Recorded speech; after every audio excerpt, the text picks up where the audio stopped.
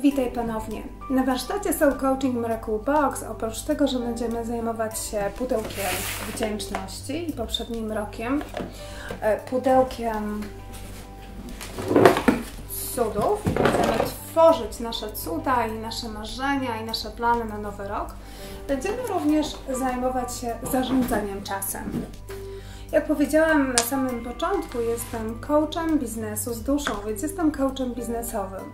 I ważna jest dla mnie umiejętność zarządzania czasem, z którą się bardzo chciałabym z Wami podzielić.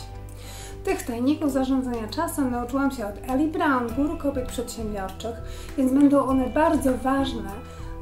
Yy, będą to bardzo ważne informacje dla kobiety przedsiębiorczej, ale również dla każdego, kto, kto, kto chce, aby następny rok był rokiem przynoszącym spełnienie, radość i szczęście i spełniał faktycznie Wasze najważniejsze dla Ciebie marzenia.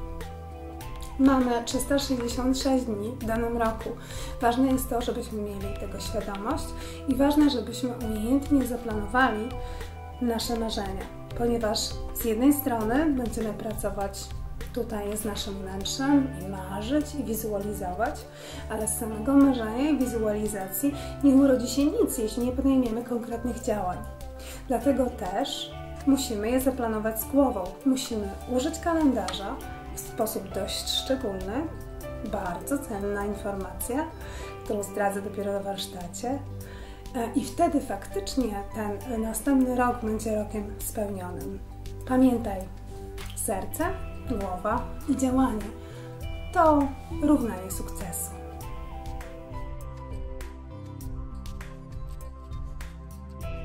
A, jeszcze jedna bardzo ważna informacja. Teraz trwa promocja.